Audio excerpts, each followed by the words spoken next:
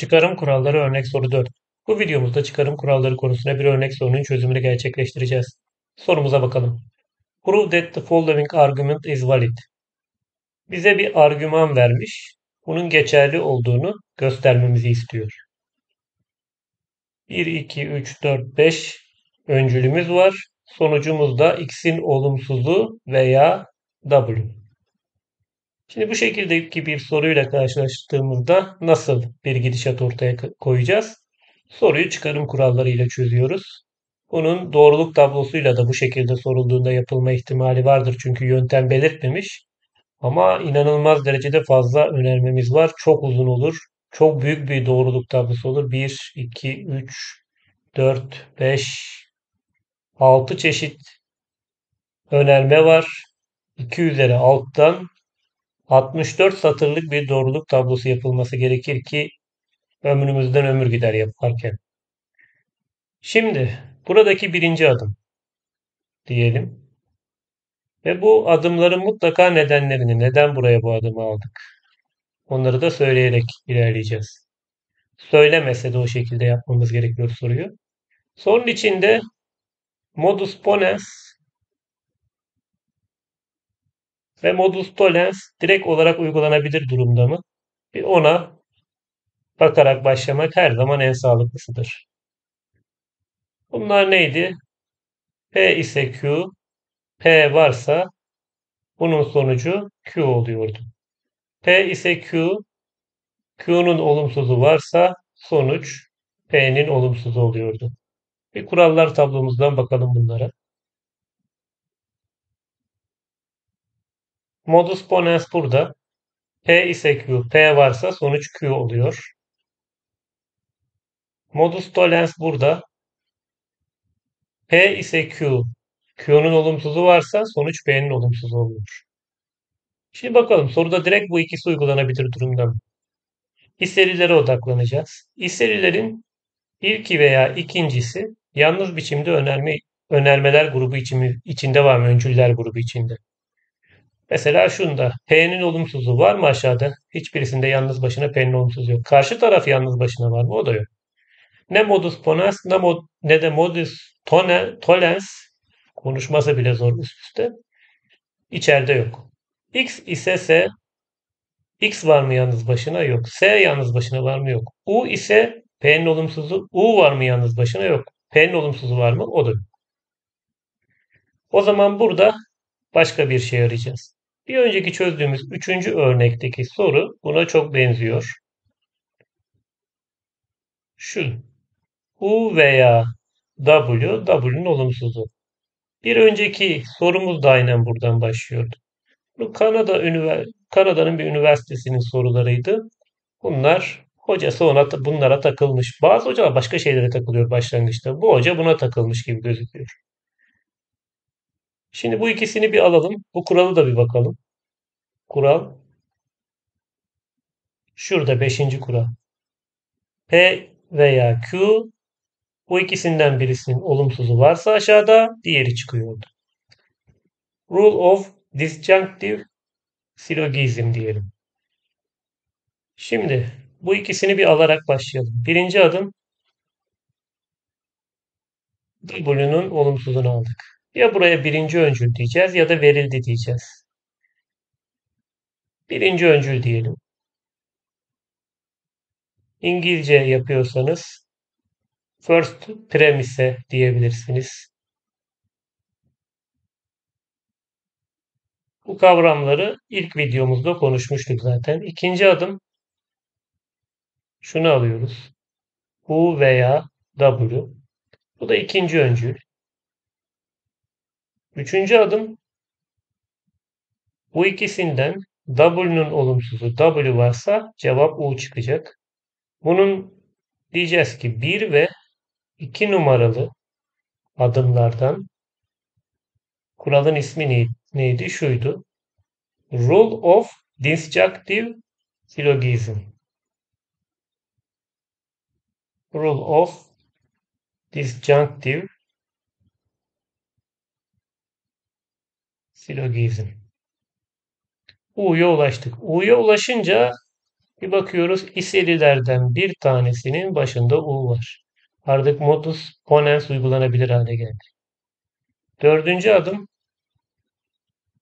bu iki öncülü almış durumdayız içeride. Bu aldıklarımızı bir daha içeri almayacağız. Bir daha kullanacak olsak geriye referans vererek kullanacağız onları. Şimdi bu öncülü alıyoruz. Bu ise P'nin olumsuzu. Bu üçüncü öncül. Buna biz niye birinci öncül dedik ya? Dördüncü sıradaki öncüldür. Bazılarının kafa gitmiştir orada. Şunların numaralarını doğru kullanmamız gerekiyordu. Bu dördüncü öncül. Bu da beşinci öncül. Tamam. Buradaki de üçüncü öncülümüz. İsterseniz sınavın başında bunların yanlarına birinci öncül, ikinci öncül diye not düşüp buralara o şekilde alabilirsiniz. Veya sadece verildi diye diyebiliyorsunuz. İngilizce'de given yazsanız yeterli. Üçüncü öncül. Bu ise P'nin değerini aldık. P ise Q. P varsa sonuç Q çıkıyordu. U, U ise P'nin olumsuzu varsa P'nin olumsuzu çıkacak cevap. Modus ponens'te. Beşinci adım diyoruz ki 3 ve 4'ten modus ponens uyguladık. Ve P'nin olumsuzuna ulaştık. Şimdi P'nin olumsuzuna ulaşınca iseli ifadelere bakıyorum. Bir tanesinin daha başında P'nin olumsuzu var. Bir tane daha modus ponens uygulanabilir durumda. Bunu alalım şimdi buraya. Altıncı adım P'nin olumsuzu ise R ve S'nin olumsuzu var. Buna diyeceğiz ki birinci öncül bu. Yedinci adımda bu ikisine modus ponens uyguluyoruz. 5, 6 modus ponens. P'nin olumsuzu, P'nin olumsuzu ise şu varsa şu çıkacak cevabımız. R ve S'nin olumsuzu çıktı. Tamam. Şimdi X ise S var. Ne X ne S var ortalıkta. Fakat V'li olanları parçalama diye bir özelliğimiz vardı. Şimdi onu hatırlamamız lazım. Kurallar listesine gidelim. Şu V'li olanlardan bir tanesini direkt alıp aşağıya yazabiliyoruz. Böyle bir özelliğimiz var. Biz de burada S'nin olumsuzunu alacağız. Çünkü burada modus tollens uygulanabilir halde olacak.